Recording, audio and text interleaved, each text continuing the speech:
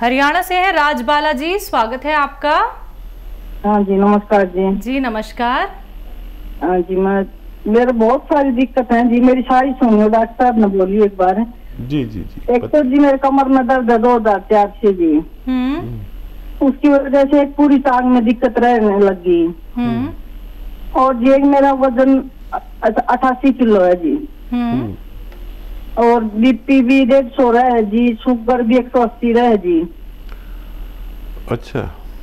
हाँ जी एक ठंड की एलर्जी है सर्दी सर्दी में रात को नहीं सांस नहीं आता छाती रुक जाए जी नाक बंद हो जाए। हैं जी। ठंडे पानी का कोई काम नहीं कर सकती।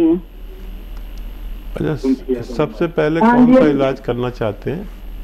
पहले मैंने जी अब गोंचिया मंगवा रखा है बीस दिन से लगातार ले रही हूँ जी दोनों टाइम अच्छा क्या फ़र्क है?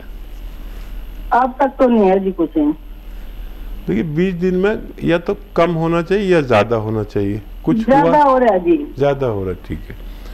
हाँ देखिए ज़्यादा होना भी अच्छा है और अच्छा इसको आप पाँच दिन दर्द की दवा लीजिए साथ में। देखिए ये दर्द की दवा नहीं है नहीं तो ये ज़्यादा नहीं होता कम होता। ये अच्छा। प्राकृतिक दवा है जो सौ लोगों में एक या दो को दर्द बढ़ा के फिर कम करती है। तो पाँच दिन दर्द की गोली लें सिर्फ़ और ये लेते रहें ये लेते रहें। पहले ये इलाज कर लें उसके बाद जब ये आपका इलाज पूरा हो जाए तो दमे का इलाज करना। दमे का इलाज के लिए अ, मैं जो दवाएँ लिखवाता हूँ आप चाहें तो अभी से लिख लें कभी फ़ोन नहीं मिले तो लेकिन ये पूरा कर लें। दर्द की गोली पाँच दिन खाएँ। वेस्टर्न टॉयलेट यानी कुर्सी वाला शौचालय ज़रूर यूज़ करें। देखिए, आप हरियाणा वाले हो, बहुत मेहनती हो गए, मेहनत कम कर दो थोड़ा। बिल्कुल झाड़ू पोछा कुछ नहीं करना, वज़न नहीं उठाना।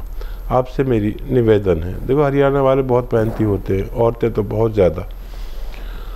अब दमे वाले के लिए, देखिए, सपिस्तान उन्नाब अलसी। लिख लीजिए, सपिस्तान उन्नाब अलसी। ये 100-100 ग्राम खरीदें और इसमें 30 ग्राम पीपले मिलाएँ, जो किचन में आपके होती हैं। पीपला मूल भी कहते हैं हिंदी में। 30 ग्राम पीपले मिला दें, बाकी चीज़ें 100-100 ग्राम। सपिस्तान उन्नाब अलसी 100-100 ग्राम, पीपले 30 ग्राम, इनको पाउडर बना लें। सुबह ही सुबह निहार मुँह एक चम्मच खा के गर्म पानी पिया करें। और ये पाँच सात महीने लगातार आप करें तो आपकी नाक का, नज़ले का भी मर्ज ठीक होना मुमकिन है लेकिन जल्दी मत करना। इत्तेफाक से आपका दर्द बढ़ गया है। मैं बहुत खुश हूँ कि दवा काम कर रही है। आपको बहुत बुरा लग रहा होगा। प्लीज़ मेरी बात मान के पाँच दिन दर्द की दवा इसके साथ में खाएँ। फिर आपको कभी ज़रूरत नहीं पड़नी चाहिए। ऐसा मेरा अनुभव है। जी। और अभी मत लेना ये आप इसकी दवा। अ, वैसे बीपी और शुगर की दवा जो है जैतून का सिरका लेकिन अभी मत लेना। पहले आप नज़ले का इलाज करना उसके बाद इस्तेमाल करना तो आपको फ़ायदा मुमकिन है। जी।